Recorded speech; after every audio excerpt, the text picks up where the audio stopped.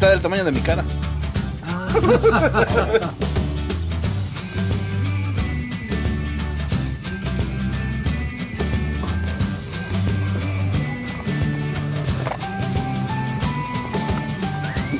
Qué impresión me dan por todos estos lugares.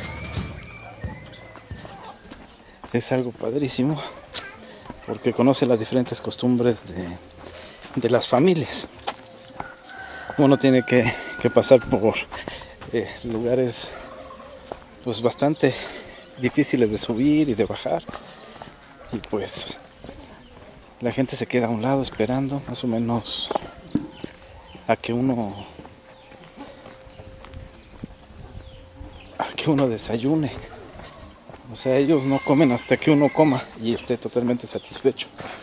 Y muchos de ellos pues dan lo máximo dan lo que pueden para poder darnos de comer y eso lo hacen por si acaso se llega a acabar la comida ellos ya no coman para ellos primero es el misionero que, ellos mismos.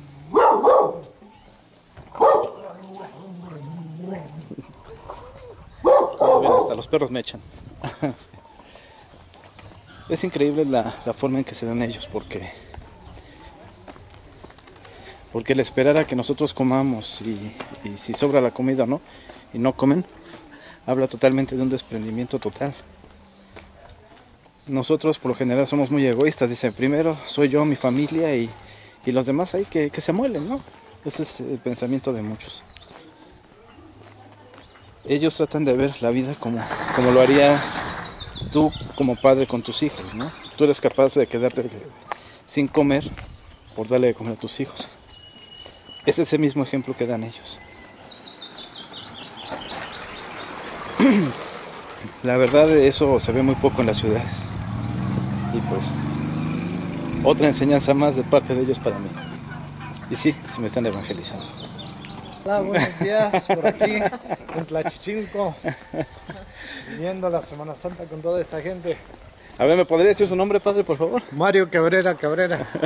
Fíjense que él es un padre que la verdad me, me impresiona mucho porque llegó muy sencillo, muy humilde, eh, viene aquí a evangelizar, aquí a, a, hacer misiones en este pueblo. Él ahorita radica en, en Guajuapan de León, Oaxaca. Buenos días. Buenos días. Él radica eh, actualmente. Y platicando, muy sencillo la forma de, de comportarse. Eh, la verdad me cayó muy bien desde que lo vi. Y después, ¿qué creen? Resulta que es el director del seminario de Guajuapan de León. Fue una impresión bastante buena porque él sí muestra lo que es la sencillez de, lo que es seguir a Cristo.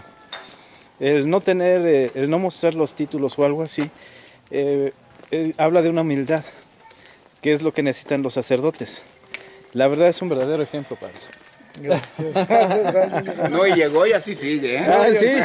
no. Mis respetos. Ah, pues, gracias, gracias. Y platica la verdad bien sabroso. Ah, Nos Y hemos también come bien con ah, no, está nosotros. bien, está bien.